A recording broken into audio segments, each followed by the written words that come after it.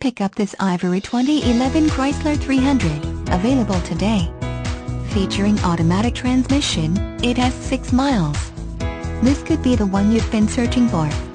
Contact us and get behind the wheel today.